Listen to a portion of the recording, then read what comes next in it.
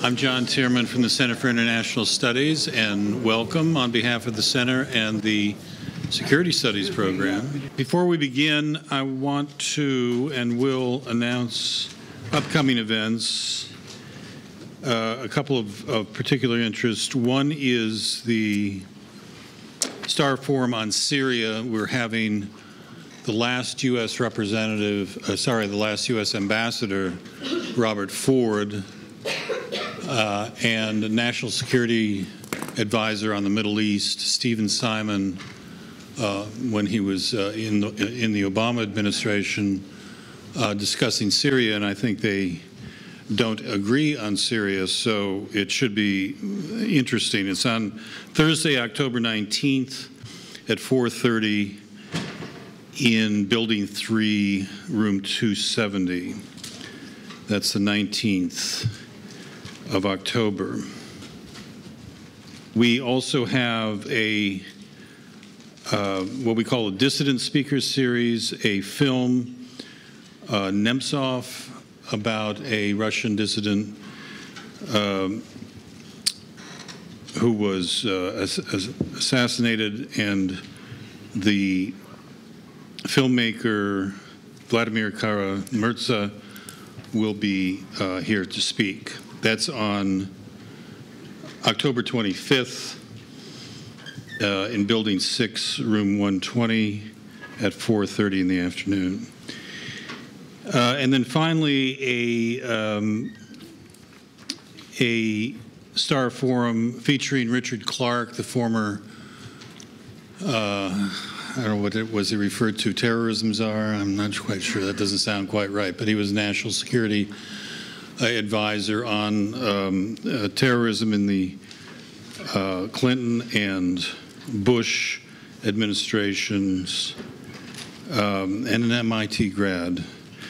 Uh, we'll be here with our own Joel Brenner, who is a former um, head of counterintelligence for the National Security um, uh, Directorate, and that is on Wednesday, November 1st, 4:30, Building 10, Room 250, 10250, on the 1st of November. So today we have um, a familiar cast, familiar to us, all MIT professors, uh, to discuss Korea, and they will all go about 15 minutes uh, each, approximately, and then at the end of their remarks, there will be an opportunity to ask questions uh, from these two microphones. So at the end of the remarks, please line up at those microphones and we'll have time for discussion. Um, the uh, three are, and I'll just briefly introduce them because they're easy to find and, and figure out what they're up to today, but they're all in the Security Studies program and the Department of Political Science. And they are Associate Professor Vipin Narang, who will go first. Uh, Jim Walsh, who's a, a, researcher, senior research associate in, in, the Security Studies program, and Taylor Fravel, who is associate professor in political science and acting director uh, of the Center for International Studies. So first, please welcome Vipin Narang.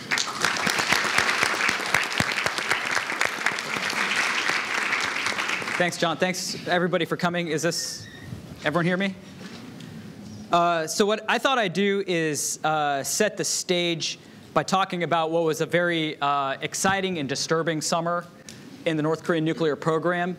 Um, I'm going to walk through basically why the summer was so significant from North Korea's nuclear development program and, no, and their nuclear strategy.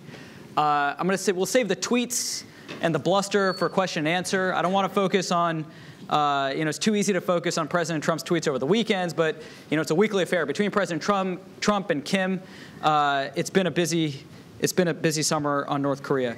So I'll walk through the capabilities and the strategy, the nuclear strategy that you know, North Korea has been signaling for a while, um, and some of the achievements uh, that uh, we saw this summer. And uh, then I'll, there's some bad news and then good news uh, in terms of how to deal with North Korea going forward, and that should hopefully set the stage for Jim and Taylor. So North Korea Summer of Hwasong, which is a very bad pun for those who get it. Apparently not. Okay.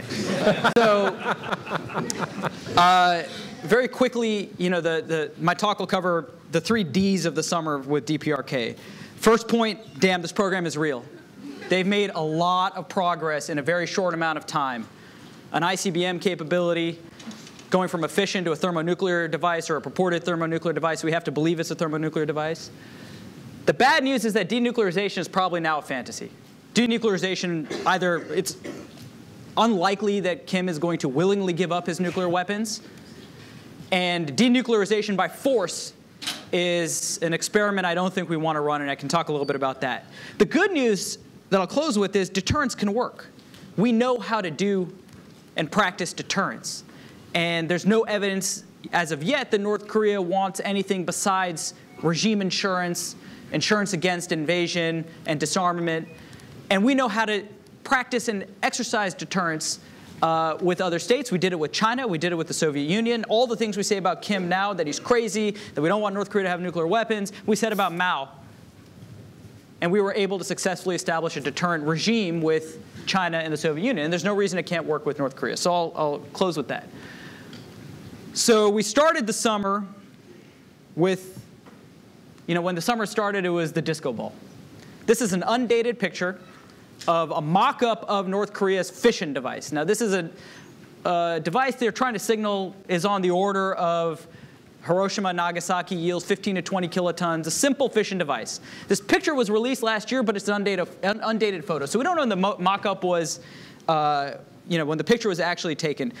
But when it was released, it was North Korea's attempt to signal that they have a fission, a compact fission device. And that's important because uh, they were trying to tell the world that they could fit a simple fission device inside a warhead that could be made on a ballistic missile. When you start seeing the, uh, the pictures of the reentry vehicles, it was very clear they were trying to signal that they had developed a compact device. And that was really important because it was uh, designed to signal that they could deliver this fission device with some of the missiles they had already developed and tested. Okay, so that's where we are uh, in April, May 2017. Then we start seeing a series of tests of short-range systems. This is a multi-rocket launcher system that North Korea has developed and tested. They have several variants of these. Uh, there are several, there, there's the North Korean designation of the Hwasongs, and then the US intelligence community uses the KN designation.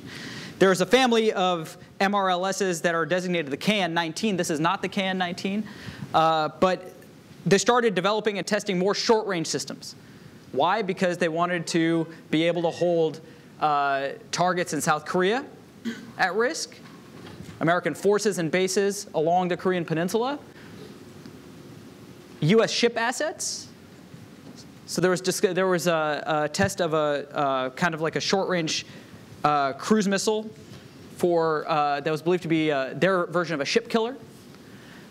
They did a variety of Scud tests. The Scuds are probably the most reliable missile in the North Korean inventory. They're developing maneuverable warheads for the Scuds. The idea of being able to specifically target US bases in the region. And then we started seeing solid fuel tests, which suggests an advancing program. And the reason why North Korea wants to test solid fuel missiles, anyone know? Why would you want to test solid fuel missiles as opposed to liquid fuel missiles? Easier to, right, more survivable, more responsive. It takes two to three hours to fuel liquid fuel missiles, and that generates signatures. Otherwise, you have to fuel them horizontally in a shed, which is not the greatest idea. Kim Jong Un smoking next to volatile uh, liquid fuel, clearly, uh, you know, playing literally playing with fire. So we started seeing this is the Pukguksong 2, which is a land-based variant of the uh, they have a, a canisterized uh, SLBM that they've tested. They're working on another variant. I wouldn't be surprised if that test is coming up soon this fall. But solid fuel systems, which are hard. Casting solid fuel is not easy. So they're trying to they're trying to signal and work at the same time as they're working. They have these liquid fuel variants for the short range systems. They're trying to develop land and, and, and submarine-based or ship-based solid fuel missiles as well to enhance survivability. It's a small peninsula. They know we're watching them. All of this enhances responsiveness and survivability. This program is for real. Everyone know what this is? 12. This is the, uh, there are two major uh, developments in the intermediate range and ICBM range uh, class for North Korea's uh, missile development program. This is the Hwasong 12. They were playing around with the Musudans uh, earlier in the year and seemed to have chucked it in favor for uh, the Hwasong 12, which is liquid fuel, intermediate range ballistic missile, which can target, what's the most important target for the Hwasong 12? Guam. Because that's where Andersen Air Force Base is. And Kim has signaled his intention uh, and, and, irritation with the B-1 bombers that come out of Guam. He calls them the air pirates of Guam. And so the Hwasong 12 is really important in North Korean nuclear strategy because it puts Guam within range and is becoming more reliable. The first stage of the Hwasong 12 provides the basis for the Hwasong 14, which is the ICBM. The ICBM was tested twice, July 4th, Happy Independence Day, and uh, a couple weeks later on July 28th. The Hwasong 14 is believed to be a two-stage system. First stage in the engines on the Hwasong 14 and 12 are believed to be similar, if not the same. We can talk about the design and maybe the help that they have gotten in the past on design basis. It's now believed they can produce the engines themselves, as well as the fuel themselves, which means the program is becoming more uh, diversified and indigenous. They can build the missiles themselves, they can build the nuclear weapons and manufacture the nuclear weapons themselves, which means Sanctions make it very difficult to slow down the program. So the Hwasong 14 is important because it can start putting the U.S. homeland at risk. At least, you know, estimating the range on the Hwasong 14 is difficult because it depends on the payload. So depending on the weight of the reentry vehicle, you know, the ranges, the upper, the upper limit on the Hwasong 14 range, David Wright in, here at Cambridge estimated to be somewhere around 10,500 kilometers, which would put at least Chicago in range with a 1,000 kilogram warhead, a one ton warhead, if they cannot deliver a fission or thermonuclear device to the US homeland yet, we have to assume that they soon will be. From a policy perspective, we have to assume that they can. We don't know for sure, though. And then came September 3rd, 150 kilotons, universal language, uh, seismic signature of 6.2, I think, was the final uh, uh, Richter scale uh, reading on the test. Uh, and the, it's, it's been notoriously difficult to estimate the yield of the underground test because of the geology at the Punggye-ri, uh, um, test site. Uh, but we know that this was a big test. And there are going to be debates about, we don't know what they tested. On the day before, the day of the test, they released this picture of the mock-up of what is clearly, you know, they're trying to signal as a two-stage thermonuclear device with a primary, the fission primary igniting uh, a, a secondary comprised of fusion fuel. But we don't know if this is what they tested. They could have tested a boosted fission device. They could have tested uh, a, you know, a, a, compact thermonuclear device. Maybe they tested a thermonuclear device that was much bigger. This is designed to signal that it can fit in the reentry vehicle of a ballistic missile. But we don't know what they tested on September 3rd, but this is what they want to signal that they you know, uh, what, they, what they did test.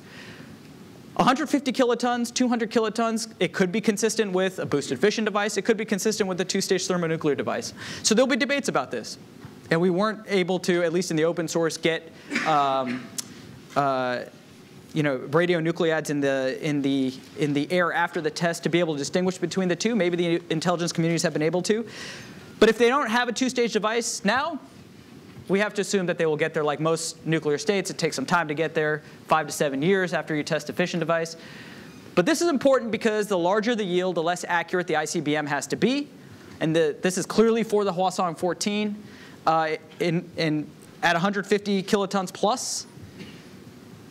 You know, you can jack up the yield by putting more fusion fuel in. But it really doesn't matter where the Hwasong 14 hits in a city. It's which half of the city do you want to lose. So the bigger the yield, the less accurate the missiles have to be. And this fits and completes what North Korea has signaled is its nuclear strategy from earlier this year and previous years as well. And they sprinted in the last several months to fill out their entire nuclear strategy, which I've called in my uh, my own work asymmetric escalation. And this looks very much like NATO strategy during the Cold War, Pakistani strategy now against India.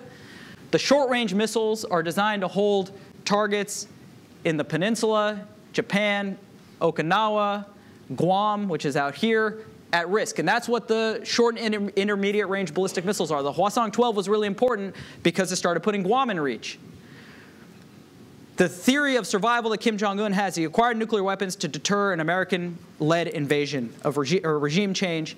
And the idea is he can't survive the conventional onslaught unless he degrades Allied ability to support the conventional attack against him, which is why being able to hold Guam at risk is important. Being able to hold American bases in Japan and South Korea are important.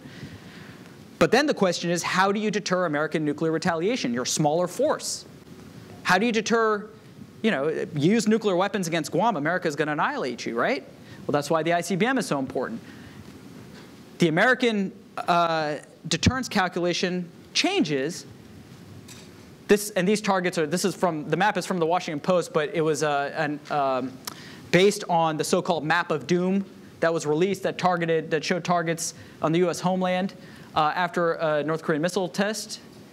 Uh, San Diego, which is important because of the 7th Fleet, uh, Whiteman Air Force Base, Nebraska, Washington, D.C., and then Barksdale Air Force Base. These were the targets that were indicated, but they've also shown San Francisco in videos. They've also shown New York. Haven't shown Boston yet, but we go before New York, I imagine.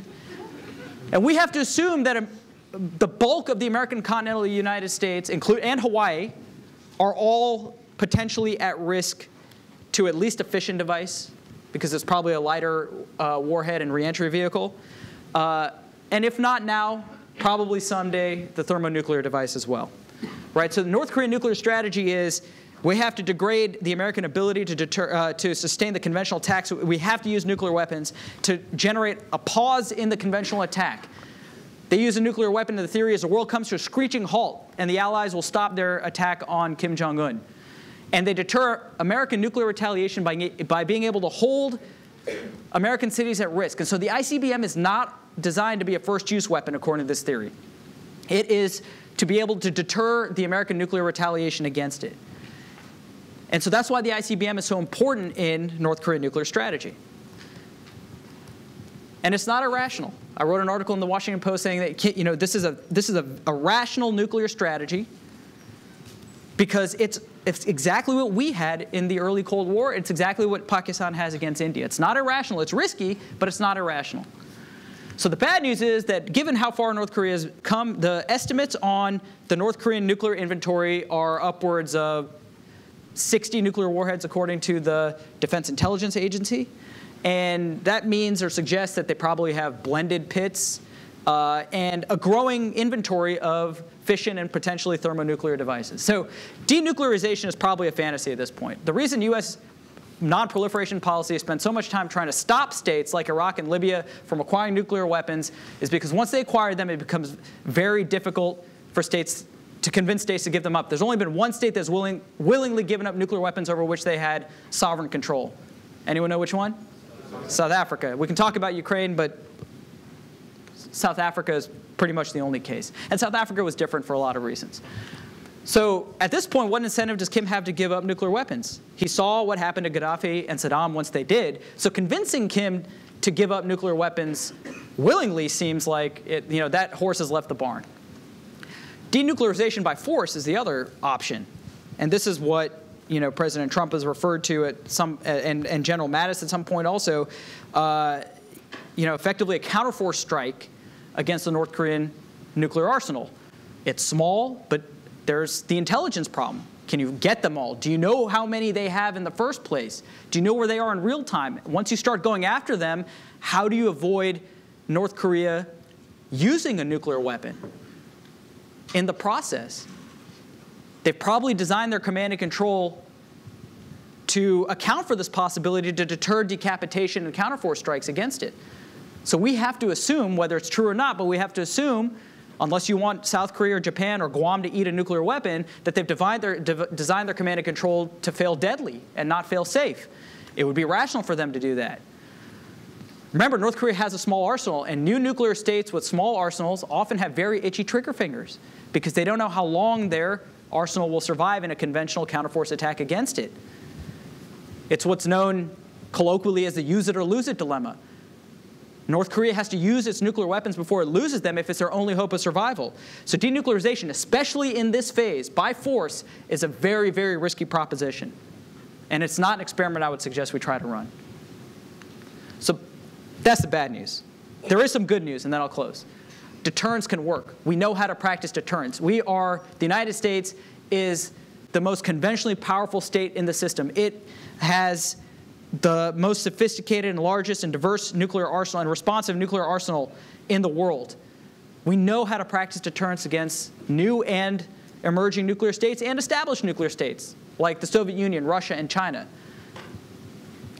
There's no reason it can't work with North Korea. There's no evidence that North Korea wants to reunify the peninsula on its terms yet. North Korea acquired nuclear weapons to deter an American or allied attack against it. And the reality is, once a state acquires a nuclear capability, it's bought itself that insurance. But we can still practice deterrence.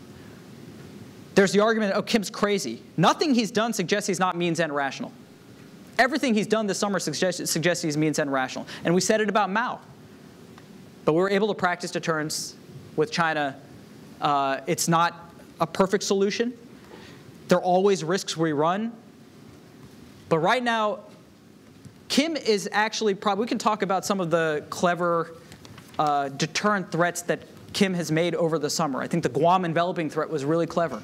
He's very clearly signaling he did not like the B-1 bomber runs out of, out of Andersen Air Force Base, and uh, because they give him an itchy trigger finger. That's going to be the, the B-1 flights are, he believes, they're not nuclear capable. He believes they are. He, they would be part of, he, he believes, any uh, potential surprise attack against him. And so we, when we run up against the North Korean military airspace with the B-1 bombers, it makes North Korea really, really itchy and wary of U.S. intentions.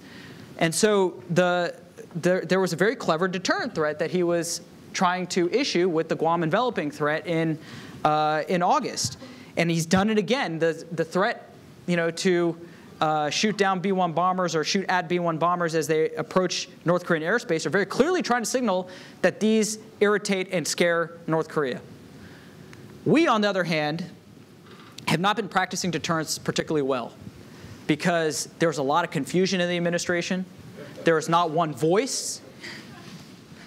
The advantage that Kim has is his single voice.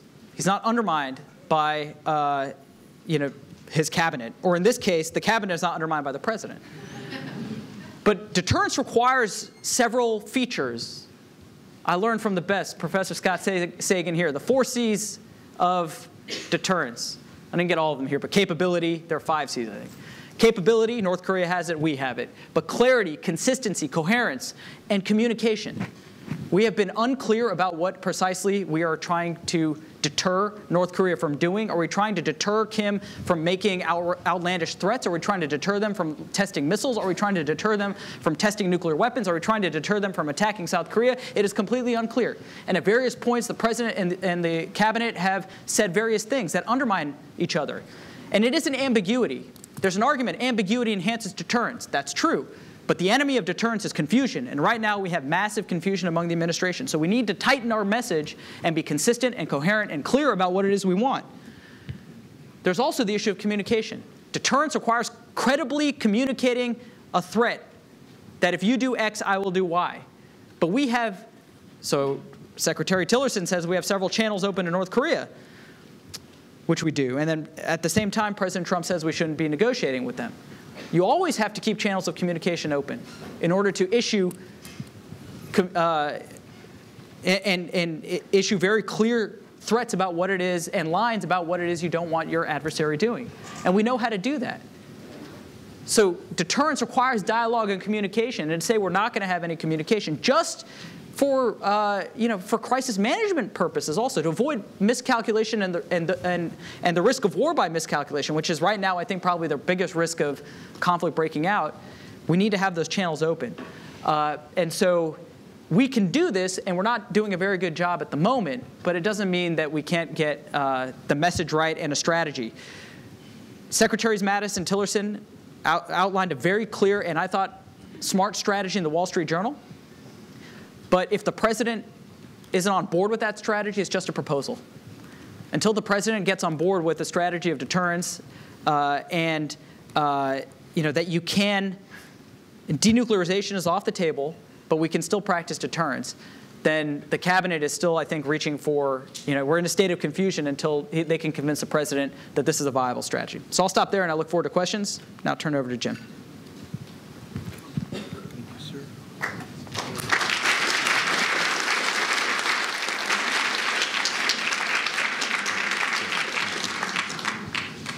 Good afternoon, friends. Oh, let me turn on the mic. I probably don't need a mic, what some people would say. Um, Good afternoon. Thank you for taking time out.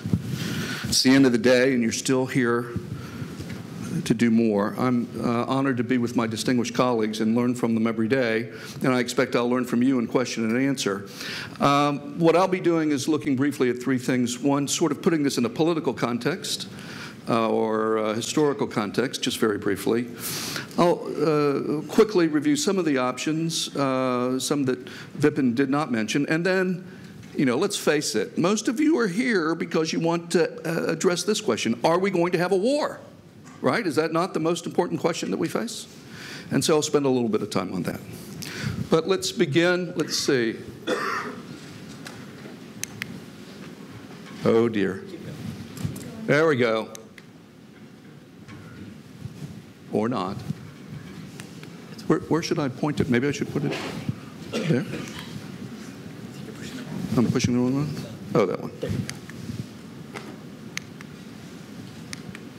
Turn it back. How many of you are here or from MIT or affiliate? Then you all know the big secret that the rest of the world doesn't know is that our technology sucks. You know that.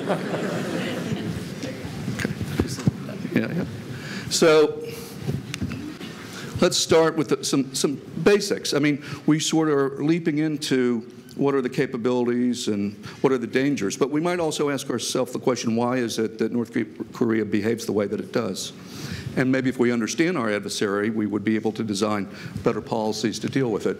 So let's take a history lesson here. People always talk about North Korea and China, and there's a lot of talk about China, but who is North Korea's most important, historically speaking, most important ally?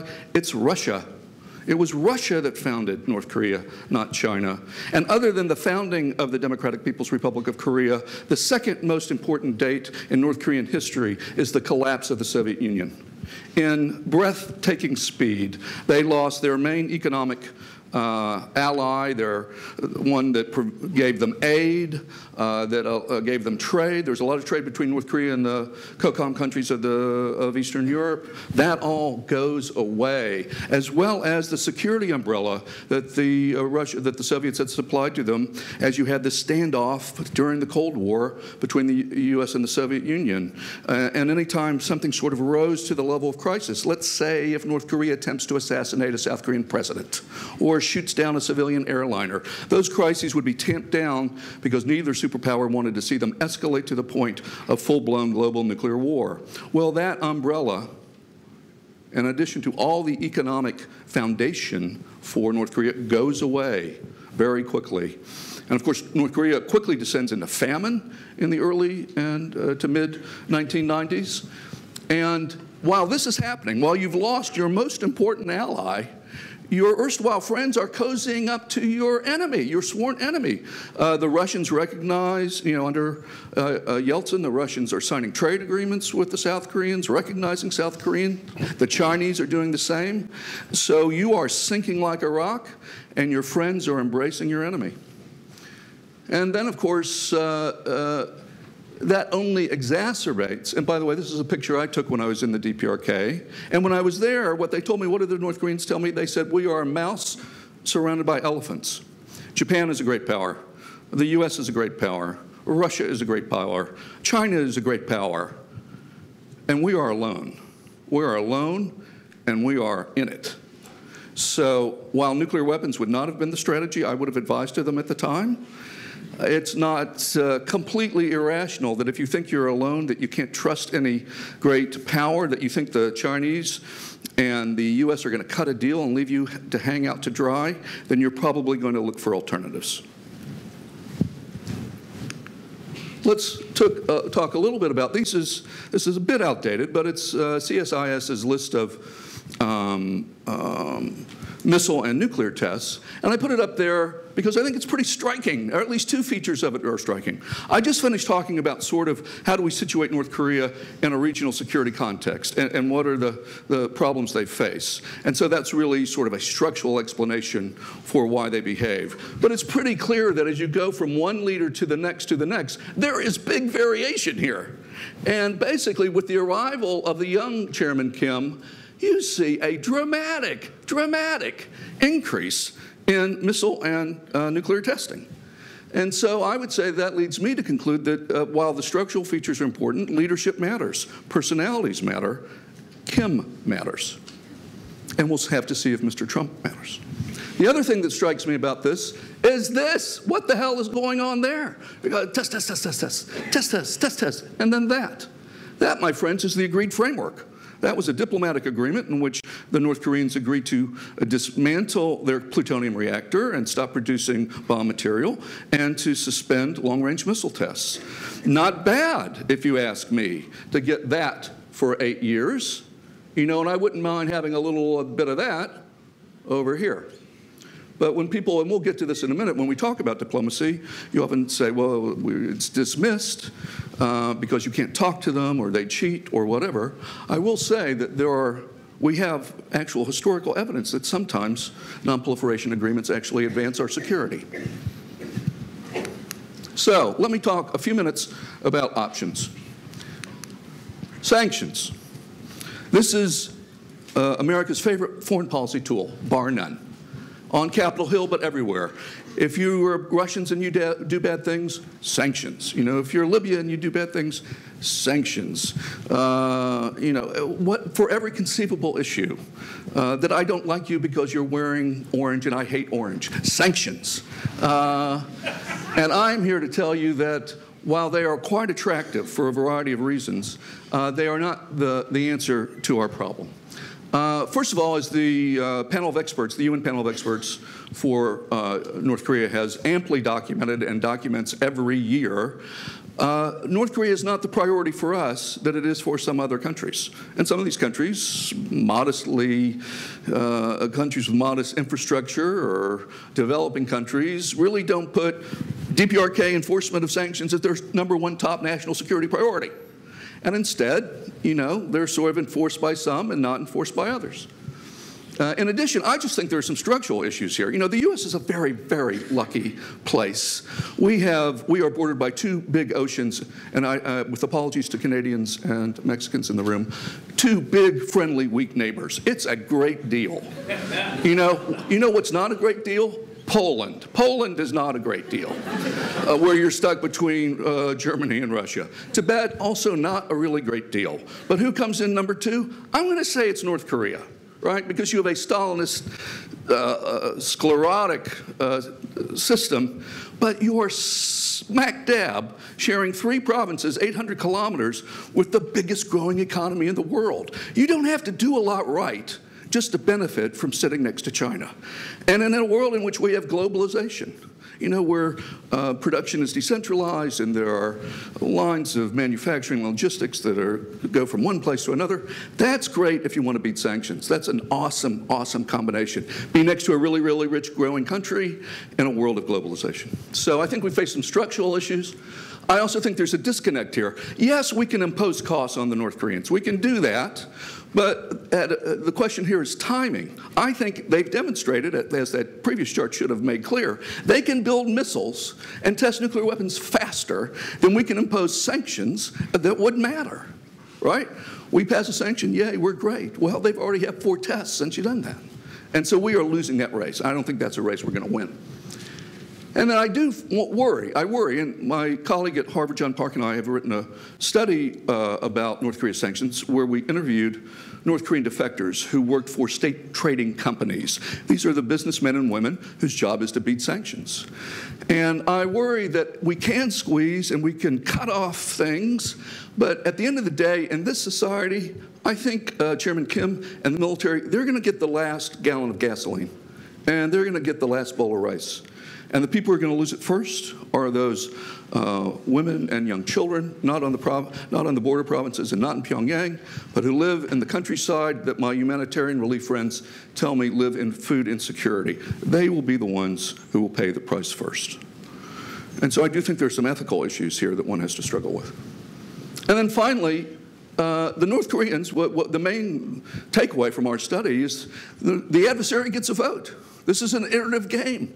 The North Koreans, we impose sanctions. The North Koreans just don't sit there and not do anything. They respond. They do countermeasures.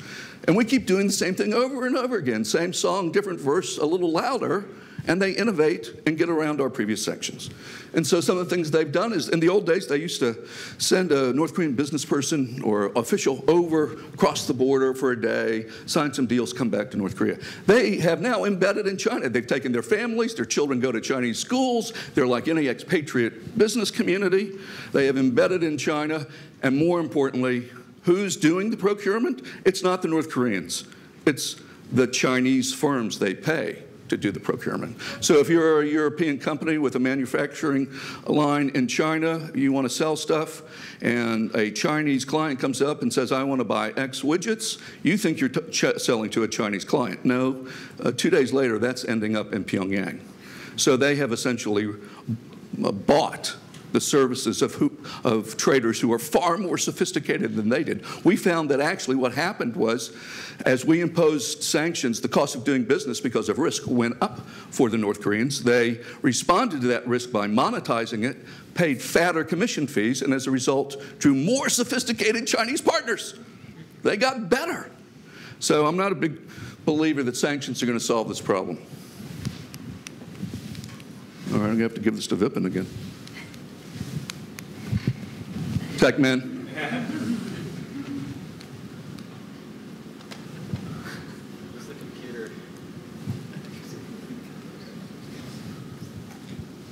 Yeah, maybe I just have to do it manually. Yeah, let's talk a minute, and Vipin touch on this so I won't spend too much time on, on it. It's preventive war. You know, you, you, so I just want to understand what you're saying here when you're arguing for preventive war. We're going to attack a nuclear weapon state. We're going to attack a country that possesses nuclear weapons. Normally, that has not what we have cho- you know, we've chosen to do. We've waged preventive war. The Israelis have waged preventive war, other states, but we have tended to avoid attacking a country that already has nuclear weapons for obvious reasons. And as Vipin says, we don't know if we're going to get everything, and certainly the North Koreans know we're thinking about it. God knows we talk enough about it. I'm guessing that they're probably preparing for that. And they have thousands of artillery tubes pointed at Seoul, a city of 20 million people. And let me jump a little bit and remind you, we, you heard Lindsey Graham say, well, let's fight them over here rather than fighting them here. There are 30,000 U.S. troops and their families in Seoul, plus thousands more American civilians. There are 80,000 troops in Japan, thousands more. We are there. If that war happens, we're not fighting it in San Antonio, we're not fighting it in Seattle, but we're fighting it in Seoul, and we have lots of people at risk, as well as the 13th largest economy, a treaty ally, uh, a city of more than 20 million people. So if we go after them, I'm pretty sure those artillery troops, maybe they're old, maybe they're, they don't all work, maybe we can get to them with counter battery, but they're going to drop a lot of explosive on Seoul. And I do think that there's a question of ethics here. You know, a preventive war is a war of choice. It's not a war of necessity. You're deciding, well, I just don't like the capabilities that this sovereign state has, so I'm going to kill a bunch of people for it. And while international law permits preemptive attacks if you think an attack on you is imminent, uh, it's not so kindly about the idea of just deciding to up and kill millions of people because you don't like the other country's capabilities. Let's talk about diplomacy.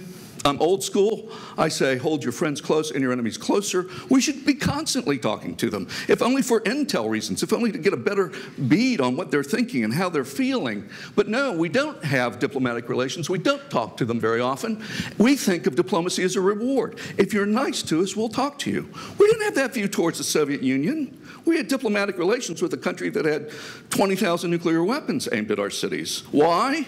Because it was in our national security interest. That's why. That was the lesson of the Cuban Missile Crisis. You better damn well talk to those people who can do you harm. So I'm a proponent of uh, uh, uh, diplomacy, and I think it's been successful. Got Otto Warmbier home, and as you know, I think the agreed framework was a success. And it helps keep our partners on board. You know, the Chinese want us to, we want the Chinese to do a bunch of things. Well, maybe we should do some things that they're interested in to keep them on board. Now, there are difficulties. It takes two or four or six, depending on what you're talking about in the Korean context, to tango. They did cheat on the agreed framework. We did not keep all our promises either, so the record there is not perfect. Uh, and it's a murderous regime. But again, the more murderous and the more dangerous, it seems to me, the more reason to be talking. So the final question that everyone's interested in, I'm going to get a bit of water here. Is there going to be war? This is the dramatic pause, pause part.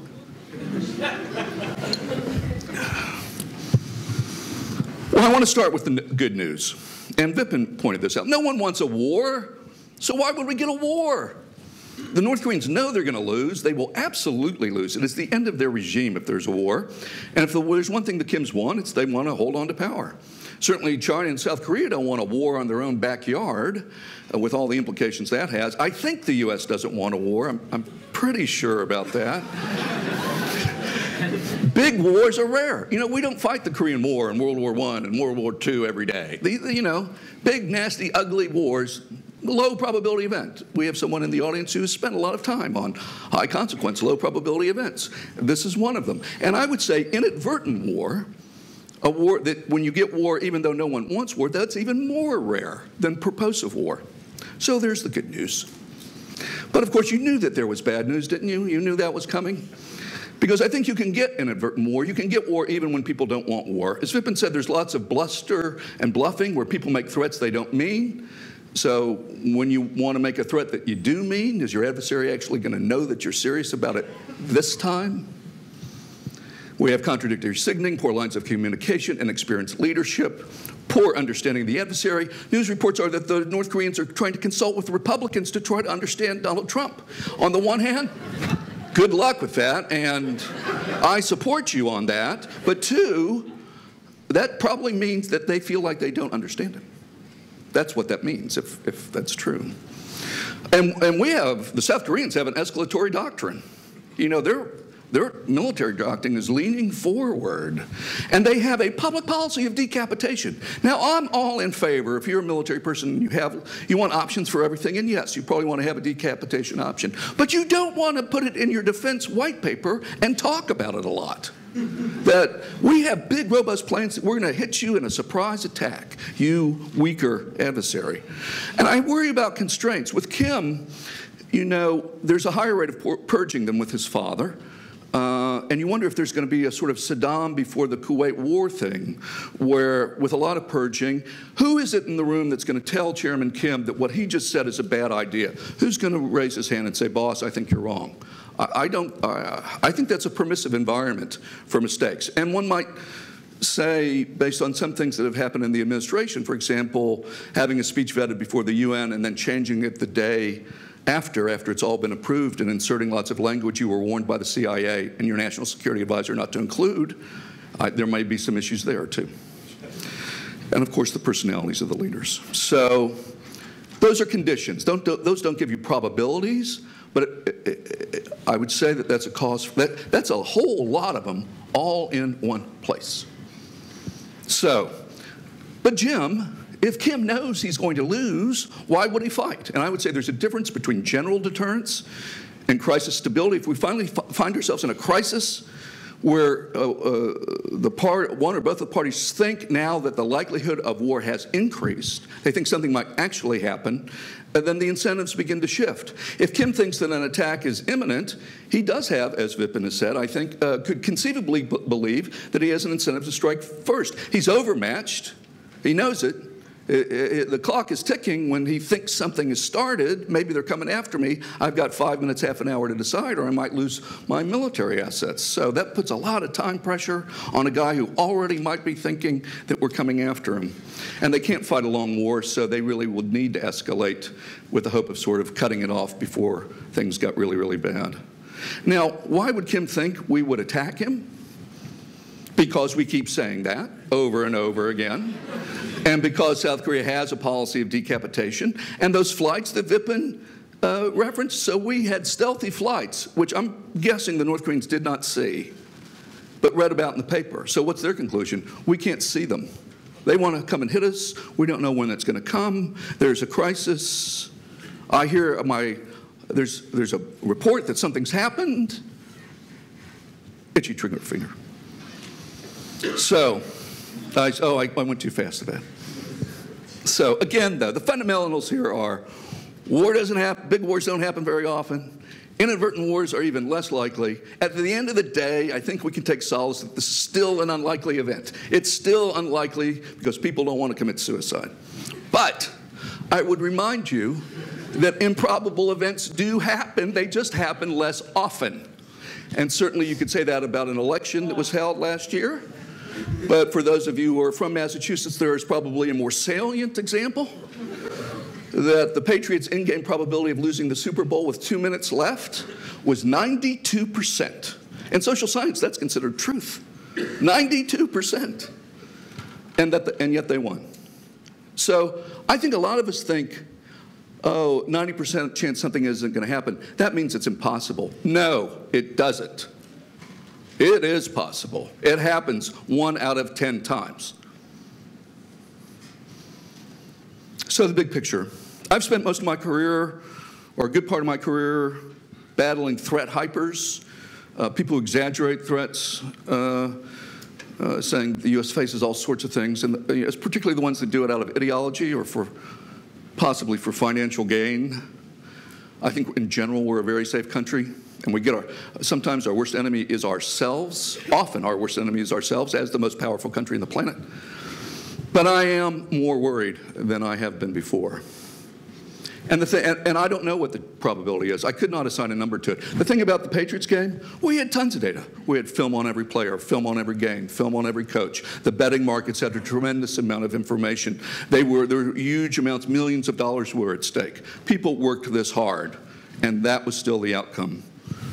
We don't know anything. And that uncertainty uh, gnaws at me, and it makes me more nervous. And so I think this, at no point, I can think of no point in my lifetime, maybe since the mid 1990s, that war with uh, Korea was more, seemed more likely. But of course, in 1994, North Korea didn't have nuclear weapons. So, do I think it's going to happen? No. Am I worried? Yes. So I'll stop there.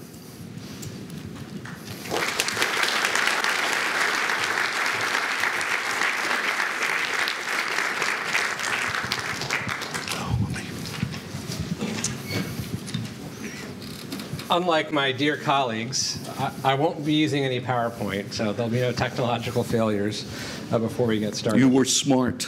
Um, but I am going to set a timer because I realize some of you probably will want to uh, ask questions. I'll try to be brief. Um, my uh, purpose here today is to talk about uh, China's role, uh, and there's sort of a fourth option, I guess, that Jim and Vipin didn't talk about for dealing with uh, North Korea, which is China, you deal with it right? That seems to be uh, the president's uh, initial reaction, and it was probably the consensus in Washington that if only the Chinese would step up and do more, then the problem would be solved. So.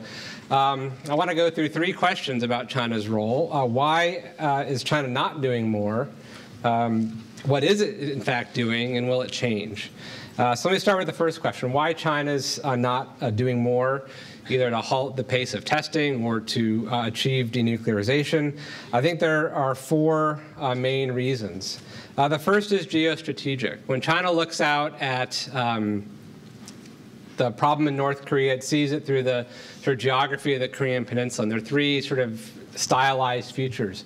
The peninsula could be uh, reunified under Seoul and uh, remain allied with the United States uh, with U.S. troops on the peninsula uh, adjacent to China. It could be uh, unified but neutral and effectively under a Chinese sphere of influence, or it could remain in its current state, which is divided between North and South. Now, it's unlikely that China would be unified uh, and neutral. Uh, sorry, that uh, the Korea Peninsula would be unified and neutral under Chinese, uh, and then sort of under a Chinese sphere of influence. I can't see Seoul or Washington uh, moving in that direction. Um, which means that China is sort of stuck between choosing between a divided peninsula or one that's united under um, an American uh, alliance and umbrella. And so uh, the main reason I think why China doesn't uh, push so hard in terms of sanctions or other pressure that it might apply, it trades tremendously with North Korea, its biggest trading partner by far, so it has a lot of latent leverage that it could use, is because it doesn't want to bring about uh, the collapse of North Korea, and thus a, a Korea that is unified uh, by or under Seoul and allied with the United States. So the status quo is preferable to the alternative. I mean, I, I, I think a lot of it just boils down to, to that simple uh, calculation. And Kim, I think, knows this, and so he, he can actually sort of push China pretty hard because he knows ultimately they're not going to come down uh, that hard on him. They, have given him so much he's given them so many opportunities to apply pressure or to apply greater pressure, which, uh, which they have not uh, pursued. The second reason just has to do with more general fears of instability on the peninsula. This could be brought about by sort of an internal collapse of the regime, whether or not that's a result of, of U.S. sanctions or somehow uh, uh, uh, occurs for other factors. China worries greatly about uh, the flow of refugees from North Korea into China. Why? Because there are lots of ethnic Koreans who are Chinese citizens who reside right across the border. And China is a multi-ethnic state, although 92% of the population roughly is Han Chinese, 8% of the population is not, and most of that 8% lives in border regions. And China, Chinese leaders worry a lot about maintaining the territorial integrity of this multi-ethnic state.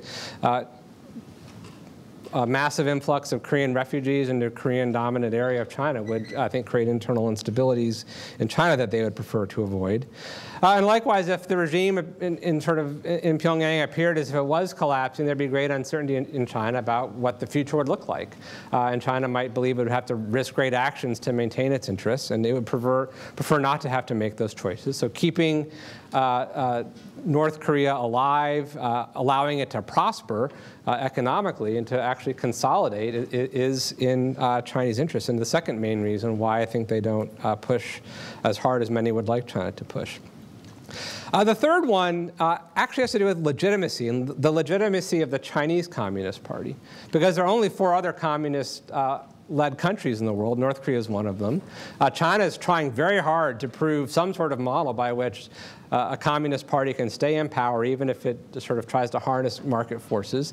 And so the collapse of any more uh, communist uh, countries uh, in uh, the world would actually, I think, uh, be a great concern for Chinese leaders as they're trying to uh, protect and maintain uh, their, their own model. And so China works hard to keep the other communist countries alive. And despite all the territorial disputes that it has with Vietnam, for example, China never pushes Vietnam that hard because it's always trying to keep uh, in power that uh, faction of the Vietnamese leadership that wants to maintain good ties with China for the same reason, because they're trying to ensure the survival of the, Workers' Party in, in Vietnam. The second reason has to do with the Korean War. Now, Jim said, okay, who was Russia's, who was, you know, uh, North Korea's great ally? Uh, it was Russia, but who, who, who paid in blood and treasure to keep North Korea alive? It wasn't Russia. Uh, it was China, right? Hundreds of thousands of Chinese died in the Korean War to keep North Korea independent and sovereign. Hundreds of thousands of Chinese were killed or wounded in the Korean War. 10 times the number of, at least 10 times the number of Americans, right? So they paid a heavy price. Uh, in their own history, in, in China's own history, uh, victory in the Korean War over the Americans is, is something that they um, uh, discussed routinely. Now, of course, it wasn't really a victory, but the fact that they fought a much stronger power to a stalemate was a victory of sorts uh, at the time. And so this would be very hard within the highest levels of the Communist Party to decide that now is the time to abandon the country that you fought to uh, keep alive and paid a high price for.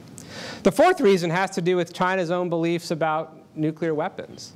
I think China believes that the North Koreans are developing nuclear weapons for perfectly reasonable reasons, right?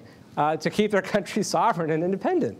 uh, and to defend against potential attacks from the United States. This is exactly the same reason why China developed nuclear weapons. So Vipin mentioned, oh, we've got lots of experience uh, deterring uh, China, so therefore we can deter Korea. It's also true, uh, or the flip side is also true, right? China has worked very hard to be in a position where it can deter the United States from using nuclear weapons against China first. And it took China a lot longer than it's taking North Korea. Uh, but be that as it may, I think China looks at the situation and says, yeah, you know, it's not bad for North Korea to have nuclear weapons, given that they want the re regime uh, in North Korea to survive. Uh, it, it's probably it, it is an insurance policy and one in which they can uh, see in their own history. So if you look at, you know, why China hasn't done more since you know, the first test in 2006, I think a lot of it has to do with the fact that the Chinese believe the North has perfectly good reasons for developing uh, nuclear weapons. Um, so second question, what is China doing? You know, China does just enough to appear to be doing something, but not, not so much that it will bring about uh, serious political change in Pyongyang, right? So it's their min-max approach. Um, uh, the minimum that they can do to demonstrate that maximally somehow they're actually taking action. But it's never, never that much. It's never what um, uh, Washington uh, would like or others who would like to uh, tighten pressure on the North uh, would like. Uh, China's not going to go so far as to uh, bring, to, to implement sanctions on its own that are so widespread and so robust that it would you know, have the possibility of bringing about the collapse of the regime and thus having the regime, um, Pyongyang, think twice about uh, its nuclear program. So China's not going to halt oil. They might tweak the oil now and again to express displeasure. They might even reduce it somewhat, but they're not going to halt it. Uh, if you look at trade patterns over the last seven years, you know, it, it's, it's grown quite substantially, which I think um, um, points to points to the limits that China, China would place economically. Now, China's policy is for a dual freeze. So this would be a freeze of uh, can, freeze of the DPRK nuclear program in exchange for a freeze of U.S. ROK exercises.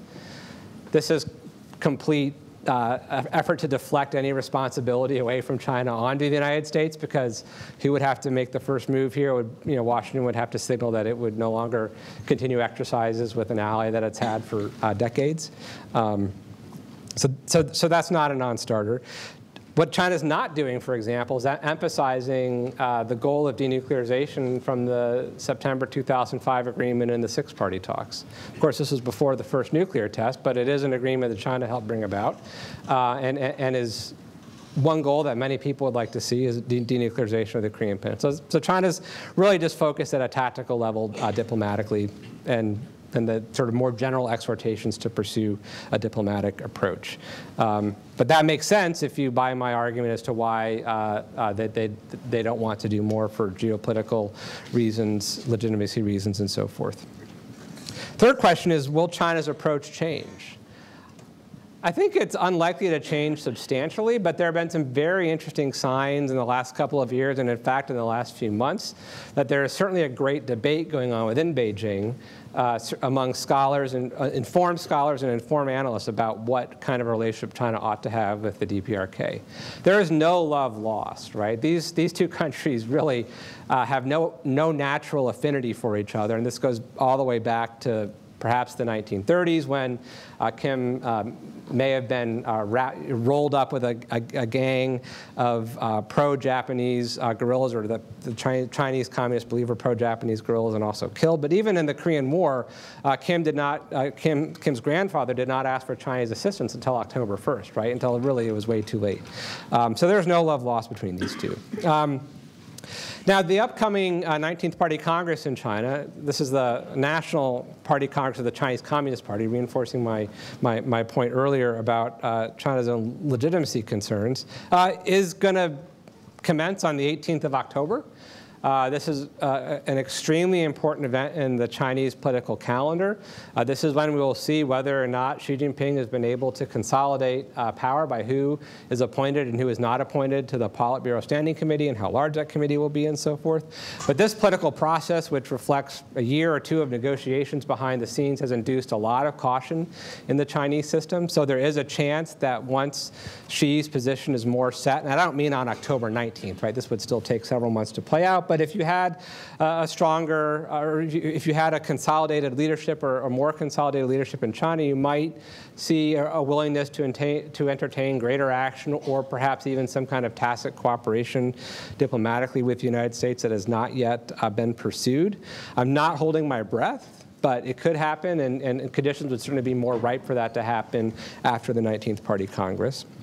And then the debate that I mentioned, uh, where you have people, ironically enough, writing in Western media outlets. So one article appeared this summer in For Foreign Affairs by a Chinese scholar named Zhu Feng, uh, entitled uh, something like uh, North Korea, China's Liability, basically suggesting that uh, China and the United States ought to uh, collaborate to figure out how to uh, deal with North Korea, which would be a huge change uh, uh, uh, in China's approach. And then about four weeks ago, Jia Qingguo, another Beijing-based Chinese scholar, published an article in an Australian blog calling for joint China-U.S. contingency planning.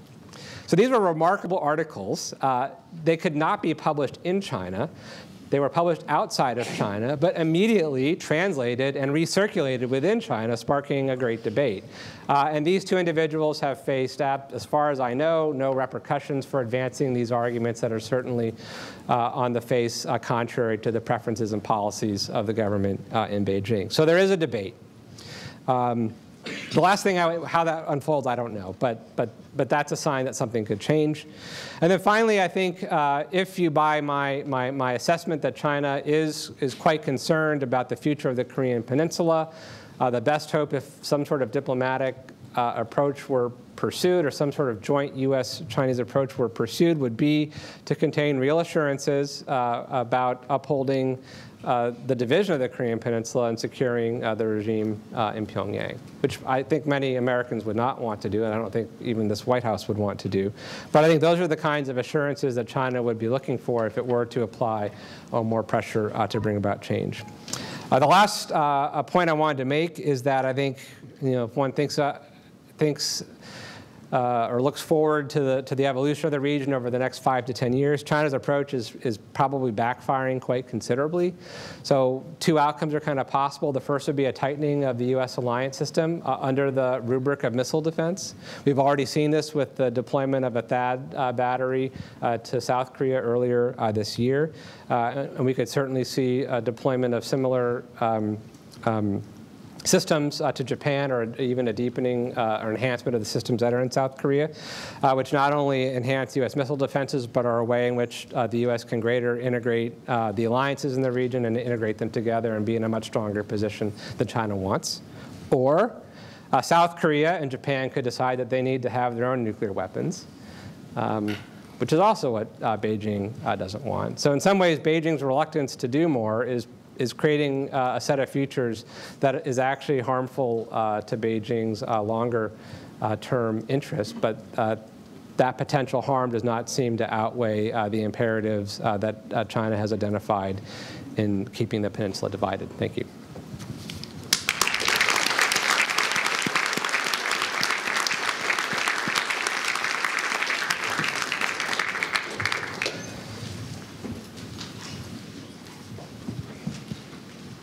Don, do you want me to? I guess they're supposed to go. Do you, do you want to announce? Yes. So we're now in the question and answer period. We have microphones on either side of the aisles. People are free to line up behind them. We'd encourage one question per customer, hopefully a question rather than a lengthy statement. But that's probably as likely as Kim giving up his weapons. so Thank you. Um, my name is Tung Hyun. I'm a second year master's student at Fletcher School. So um, um, the analysis made by Professor Narang the, the, from the denuclearization to the deterrence, I think it's a perfect policy goal change, um, more realistic at this point. Also, it's in, in, in, a good standing with the U.S. vital interests in um, securing the survival, survival of its allies. On the, other, on the other hand, I think the, another vital interest of the U.S. is to pre prevent the uh, proliferation of nuclear weapons, not only from the North Korea, but also in countries in East, East Asia, including South Korea and Japan. And I would argue that in South Korea, the nuclear fervor of South Korea going nuclear is pretty it's getting stronger and stronger. Um, even its opposition, party with one third of uh, National Assembly seat almost officially endorsed that South Korea should go nuclear. Is there Or- a question here? Correct. So, so the question is: Is U.S. willing to let South Korea or Japan go nuclear um, for the sake of for protecting for continuing its deterrence policy against North Korea? I mean, these are old problems. We had to deal with this with West Germany in the 1950s um, and France in the 1950s and 60s. The strategic aim also, I mean, there's a, there's a political aim that Kim Jong un has with nuclear weapons also, which is break our alliances. And it's an old problem known as decoupling, which uh, you know really confronted Western Europe when the Soviet Union was believed to be able to hold the U.S. homeland at risk. And de Gaulle famously asked, you know, would, would the United States trade Washington, D.C. for Paris? And it was one of the reasons that motivated France to acquire nuclear weapons on its own. But Germany was also seized with this fear, and we, we went to great lengths with nuclear sharing dual key control to prevent West Germany from going nuclear. And you know, it was the same kind of raising the temperature that Adenauer uh, did in order to get those assurances. So, you know, this is kind of a game that the Allies play also, which is they they raise the heat to get greater reassurance from the United States on extended deterrence. So this isn't an old problem, and we know how to do it. Now, it could be that President Trump has a more relaxed view of horizontal proliferation. We don't know. I don't. I mean, I, it would be a break in U.S. policy to say we are comfortable with the Allies acquiring nuclear weapons. There's a very real strategic reason why the United States doesn't want the Allies to acquire nuclear weapons, which is that they don't. The U.S. doesn't want the Allies to start a war that the U.S. has to finish, right? And having a single, a single finger on the button, so to speak, is much easier from an alliance management and nuclear command and control perspective. And I think that, that those are very strong arguments, uh, you know, in favor of continuing extended deterrence. Extended deterrence is one of the greatest non-proliferation tools the United States has had. Uh, and I don't see, it, you know, Japan has, you know, a very strong hedge already. Uh, and it's South Korea that I think has a longer way to go. And so we'll see how this un- un- unfolds. But I think Kim sits there seeing President Trump tweeting about chorus and South Korean appeasement, thinking, my strategy is working. I'm breaking the alliances uh, and causing discord between Seoul and uh, Washington and Washington and Tokyo. And we have a very odd alliance structure, as you know. It's two bilateral relationships instead of a trilateral relationship. So, uh, you know, we'll have to figure this out, but we know how to do this also. Uh, Thank you. So I have a question about, you know, the the joint U.S.-China contingency plans. So it's not working? Yeah, can, uh, Hello? There, yeah. it's- Okay, great. So I have a question about the U.S.-China joint contingency plans. As Professor Fravel said that, you know, do you think, you know, under certain uh, circumstances, such that, you know, the U.S. and China can work something, such that in return, China agrees a unified Korean peninsula, but it's neutral and without U.S. military forces? Um, that might be China's aim in offering some sort of coordination, but I'm not sure that the United States and South Korea would agree, right? So um, I, I think the U.S. concerns and even the South Korean concerns, and I think a growing awareness in China as well regarding coordination simply has to do with what happens uh, if there is a, a crisis or an event on the peninsula that require that engages the interests of China and the United States at the same time. So in a regime collapse scenario, who secures uh, the North Korean nuclear materials, which are located pretty close to the border with China, uh, but the U.S. still might be able to get there faster, right? Um, what happens if you have forces in close proximity to each other from both countries? So it, has more to do with, I would say, operational or, or tactical questions than strategic questions as to what the future of the peninsula uh, should look like. But those tactical and operational concerns are getting uh, more and more important every day, especially if um, you believe that uh, Kim might be emboldened somehow with his possession of nuclear weapons uh, to initiate some kind of conventional provocation that then uh, elicits a U.S. and South Korean response. Can I just briefly add an addendum? Um, So I can understand, and I support it, that people want U.S. and China to work closely together. But as I said in my talk, this is exactly what North Korea fears and expects.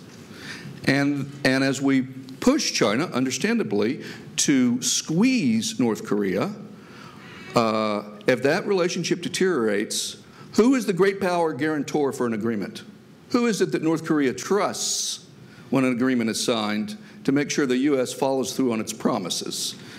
Now, the more China's, you know, China's in the classic situation of both trying to reassure and squeeze at the same time. But if that relationship unravels, uh, uh, why in the world would North Korea ever agree to anything with the other parties? It's the weakest player.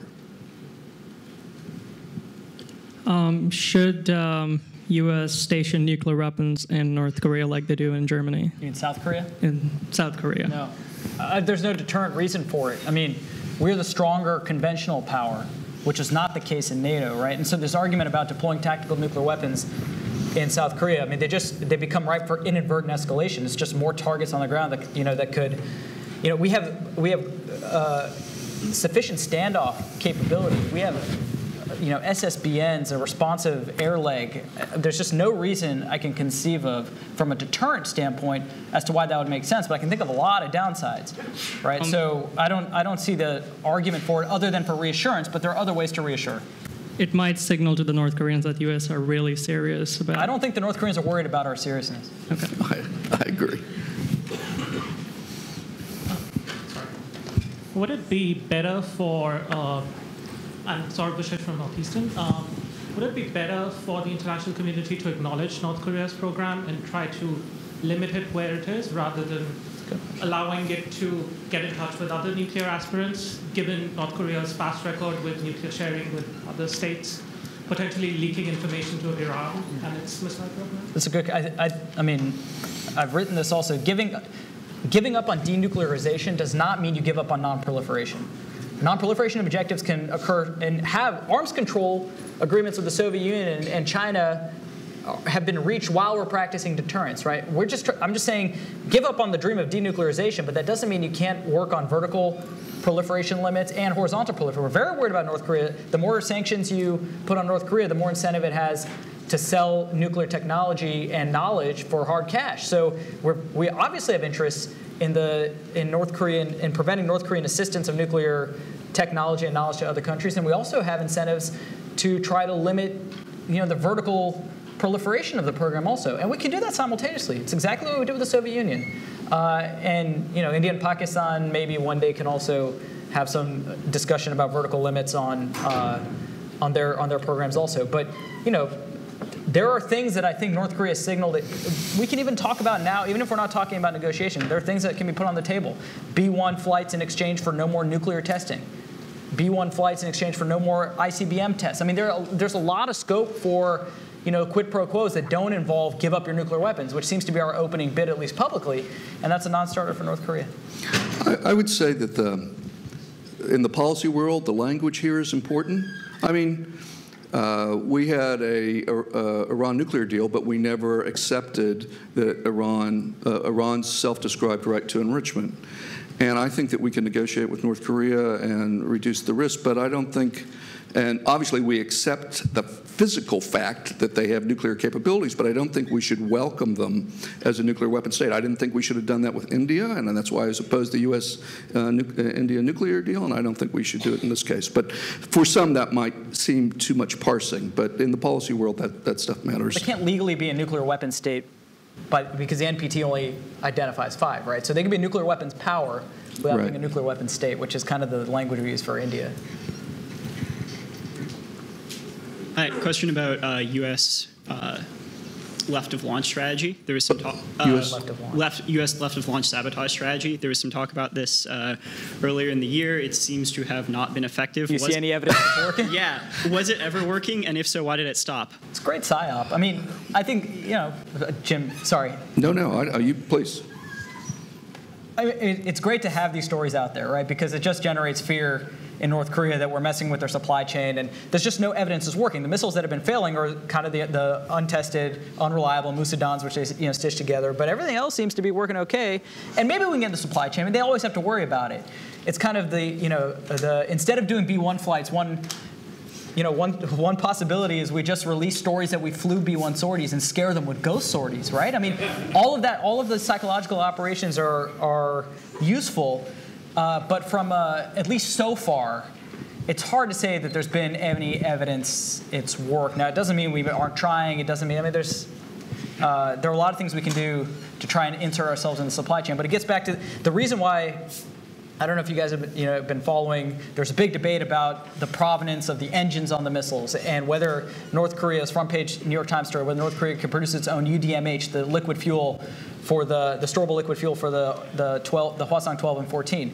Those are important because if they we can mess with the supply chains if they have to get them from outside or if they're dependent on foreign suppliers, we can, you know, it, it limits the number the amount of supply they have. If they can make it though, and they're doing it indigenously, they can have better ops, uh, operational security for it, and the limits on how big the program can grow are much higher then. And we may not be able to insert, insert you know, these kinds of left of launch uh, measures that we may be working on. Now, we're going to continue to follow this process, but I do want to signal that since we do have uh, one of the world's leading scholars of nuclear issues in the room. If he doesn't want to get in line, he can still raise his hand and we'll entertain his question. Uh, yes, sir. Uh, I'm Alex from Northeastern, sophomore. And how would you consider the idea that a nuclear option almost gives North Korea a free pass on humanitarian issues? Can you say that one more time? I know that mic is screwed up, and you're bending over.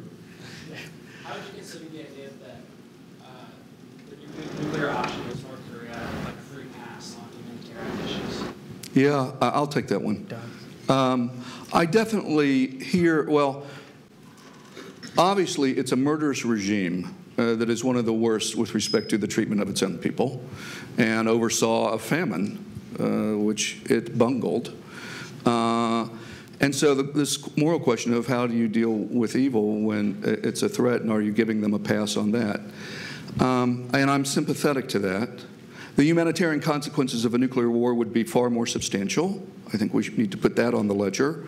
And I don't think that just because we uh, entertain the possibility of having agreements that reduce the chance of conflict, that that requires that we're any less critical or work any harder on the humanitarian issues. When it comes to humanitarian relief, I would argue, the sanctions regime has made helping those women and children and uh, elderly in the in burnout cities and in the hinterlands more difficult. The Eugene Bell Foundation, because of national sanctions enacted by North Korea, was prevented for a while until it was resolved from going in to do tuberculosis work. You know, there's a lot of bad diseases, communicable diseases that you could have outbreaks in in North Korea, and so I don't I, I don't see these things as mutually exclusive. But I, I get the, the notion that hey, all we do is talk about nuclear, and that's the first priority. No one ever talks about the other stuff. I hear you.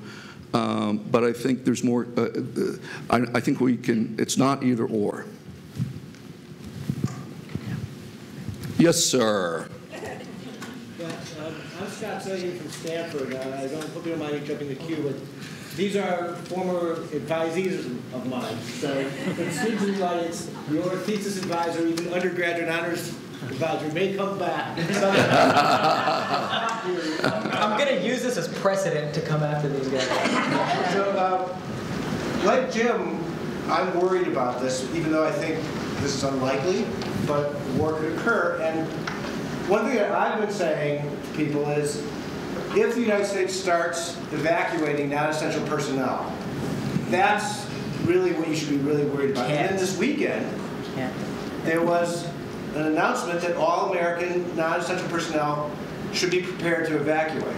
I did not see that. Within hours, it was released that this was false information. Yeah. This was not real, and the U.S. government issued something directly to the troops saying, don't believe this. Who possibly had an interest to do that? Thoughts? Worries? Why would this have happened? So I wouldn't have done this 20 years ago when Scott was my advisor. I, I, I somewhat disagree on the evacuation order being a signal because if it's going to be a surprise attack, we can't give, issue an evacuation order, and a surprise attack has to be the way we do this. And so my concern is actually the we're putting American forces and personnel up on a platter if we start a war. And we wouldn't have any indicators because we can't give Kim any indication. And so I, I saw the, the, the story, and it came from a South Korean outlet. I don't know what to make, you know, where it came from or why. But I immediately thought there's no way we would issue because we just wouldn't issue an evac order in the first place. So my worry is war by miscalculation. The way I think the, all of us kind of see how it could go, B1 flight misinterpreted as go day. I would not expect an evacuation order. You know, I think though, oh, please go ahead. I was just saying, in all matters of fake news today, the Russians. awesome. Good one, good one. Or the, yeah. I, I, I, I'm not so confident and sanguine uh, about it, but I, I think what it does is point to this. We now have another path to war that we did not have before, uh, which is, for lack of a better term, fake news and manipulation of, of, reporting. And I think that's very disturbing. And we know that certain leaders of the world pay more attention to news reports than they do to their advisors. Why are you laughing? Uh, or their intelligence the community, about or the their Iran missile test, which was not. Yes. So I think that this is another path. You know, I, I would say, you know, we're one dead fish. I used to say we're one dead fisherman from some sort of conflict. Uh, that is to say, what is the thing that we're not looking for that leads people to, you know, misinterpret? And you and I have not thought about this before, and you have now identified a whole new category. Yes, sir. Um, so uh, it appears, um, whether it's reality or not, but that uh, North Korea is extremely paranoid um, that they're going to be invaded, et cetera. Or, I mean, whether or not that's just this, Kim is what he's selling that to his people to remain in power. Um, do you think that, although we would have to have diplomatic relations, which we don't currently have with them, but if we ever offered to end the armistice in an official peace treaty, uh, and formalize it, that might give him sort of a, you know, olive branch to grab and say, this is what I did for America, and we can actually have some real negotiations, or do you think it wouldn't even make a difference? For years and years and years in Track 2s, that is what the North Koreans have been asking for, is a peace treaty. Uh, and there's any number of uh, Americans who served officially in government who opposed it when they were in government and then endorsed it once they got out of government. I can think of at least three. Um, I, I think it's worth pursuing. It's, you know, I think, I think people should just show up at the table without precondition. That's how you do negotiations. Right now, both sides are saying, I want to talk, I don't want to talk. And both, and in our case, we're saying, we want you to denuclearize as evidence of your good faith before we sit down to talk about your denuclearization. So I don't know why you'd have the negotiation if they had already done what you asked for them for to begin with. But my own view is we parties just need to sit down. They need to show up every Wednesday in Geneva and sit, and, if, and each, every party gets to say what they want to say, and they keep doing it, and, uh, and, and then you see where it goes. And peace treaties should certainly be part of that, but I don't sense there's the same that, that, has the same salience or juice that it had in past years. And of course, peace treaty means very different things to, to the parties. And when you say that, you mean uh, meaning to the North Koreans? Yeah, the North Koreans, uh, we always sort of rejected out of hand, which I always thought was a dumb idea. Uh, uh, but the North Koreans, they still talk about it, but they don't talk about it as much. They talk a lot more about byungjin policy of we're in a, we're in a uh, weapon state and we're going to develop our economy. But I would love, I'd be happy to bring that back as an oldie but goodie. I, I clearly understand the reasons that you all mentioned for why they uh, why they rationally want nuclear weapons, but wasn't it sufficient to have the conventional deterrent, especially Great question. their proximity to Seoul and to Yes. the, the, the, the terrain with the hardening and the hiding of armaments? And I'm just wondering why they didn't stay on that path. Spectacular question. Fantastic question. And I think that's a real puzzle. Um, and I don't know the answer. I mean, it could be that there are other motivations for the nuclear program. Some people thought it was their new look. They couldn't afford to maintain a conventional, so they went nuclear. Some people think it's about, you know, uh, leg- internal legitimacy and prestige. I don't know, but I think, uh, you know, uh, maybe it isn't as good as we think, but they seem to have worked really hard on that too. But I, I love the question, and I have no idea. Do you guys have a crack at this? I think those are all uh, what, what Jim said. There are not mutually exclusive reasons, but there. I mean, I still think there, there's a security argument, which is if you're North Korea and you believe that the U.S. is willing to sacrifice Seoul anyway, how do you change the U.S. calculation? Mm-hmm. Mm-hmm. If you want to break the alliances, then you know you don't have the conventional reach to really hurt the U.S. without nuclear weapons. I think that's kind of the that would be the mm-hmm. the security-ish argument. but you know, it's true. I mean, we're still talking. uh, You know, it's we're still talking about a population of 20 million people within 37, 30, 40 miles of the DMZ.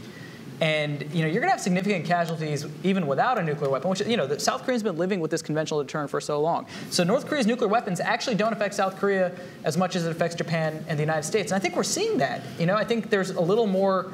You know, the South Koreans say, we this doesn't really change. You know, our political strategy with North Korea. It changes yours. And but I think that kind of division between the alliance is exactly what Kim is trying to achieve in developing nuclear weapons also. But there's a very strong political argument here, which is break these alliances apart. The final point I would add is I, I do think, I can't prove this, but my intuition is that there's something to do with domestic political legitimacy as well, right? I mean, so many pictures of Kim uh, standing uh, uh, and observing a test and exercise, smoking around a missile uh, launch before it was launched, that, that he seems to be using that. It could be a second order reason, not a first order reason. I think the ones that Vipin mentioned are probably the primary ones, but he could certainly be using it uh, to bolster what looked like a pretty weak position when he came into power, along with you know shooting his uncle and a bunch of other people. Now, we're- we supposed to wrap up soon? One more One, question. one question. I'm going to ask that the line be broken because we haven't had one female questioner the entire time, and I'm going to give that question to you. So I'm from Brooklyn High School, and I want to ask about the role that the international bodies such as United Nations can play to to solve the North Korean problem. And is there any resemblance of North Korean North Korean case to the cases of like Iran or Pakistan? Well, I I think it's a good question. You know, we've seen in the news recently that the Europeans, so, you know, what are our other uh, diplomatic alternatives or people who could be conveners or, or help nudge the parties along? The Europeans are actively trying to do that, uh, according to some recent reporting uh, based on the embassies in Pyongyang. You know, uh, certainly the UN is involved in humanitarian assistance in uh, the DPRK, but also they're involved in these human rights uh, investigations, which drive the North Koreans crazy, absolutely crazy. And it's the UN that has imposed all these sanctions. Um, so, as a neutral interlocutor, uh, it's, it's tough. And of course, what is the UN? It's a membership of sovereign states. So I totally get the idea that it would be nice to have some some other way to get at this, and I uh, and so we need to think creatively about that. And so that's part of that process is to think about what the UN or what others might do. But at the end of the day, the principles will, uh, if others can clear the ground or provide encouragement, the principals are still going to have to make some tough decisions themselves. But that's a great question. Just the last thing to add on the UN with, with China and Russia both on the Security Council and exercising a veto, right, it quickly surfaces the political calculations of the five permanent members. And if they are not in agreement as to how to proceed, then I think it limits uh, what the Security Council can do. Now, there are other, other UN bodies playing other roles, but terms of the Security Council, we can't remember it really is a reflection of the politics of the permanent members. Boss, do you want to take us out here? Oh, one more? Sure, we get one more. This is your bonus question. Look at how fast that guy. You're good. Hey, this is a question about North Korea's deterrent strategy. Uh, given the uh, potential impact of uh, an EMP strike on the U.S. power grid, do you think that's part of their nuclear deterrent strategy? I just don't know why you'd waste a nuclear weapon on an EMP. I mean, if you're going to target the U.S. homeland, you target the U.S. homeland. I mean, the the EMP concern right now, I think, is this discussion of a, an atmospheric nuclear test. And if you do that over the Pacific, there will be EMP effects around, like within a certain radius, depending on the yield.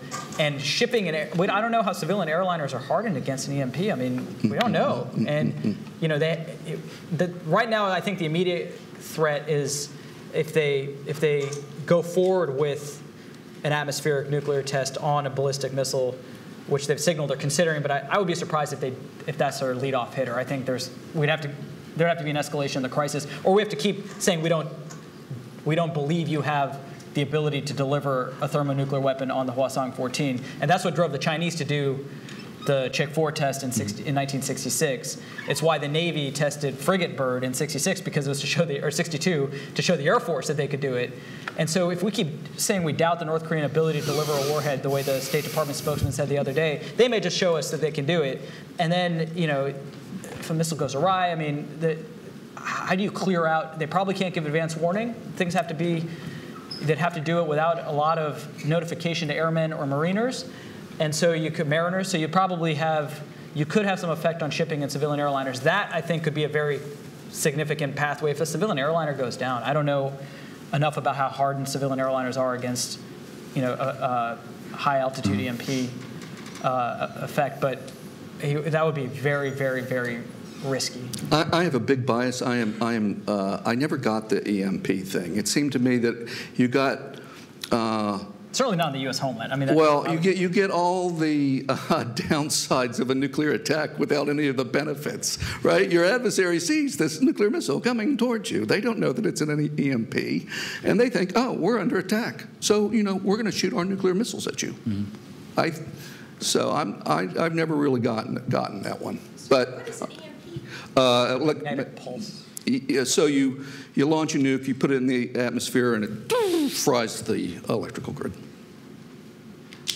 But I know people care about it, so, and that's good No, I too. mean, it, it's certainly not on the U.S. I mean, the, the only scenario I think that that is a risk is with the test over the Pacific, the way that, you know, Yep. that would, then you have localized EMP effects. Do you see that as less of a, a threat than, say, a direct nuclear attack? Yeah, I mean, if you're going to use, Yes. if you're North Korea, you're going to use one, you use Right. one. If you, you- you're all in or you're not. This halfway thing only gets you killed without accomplishing any of your goals. Let's thank our panel, and thank you.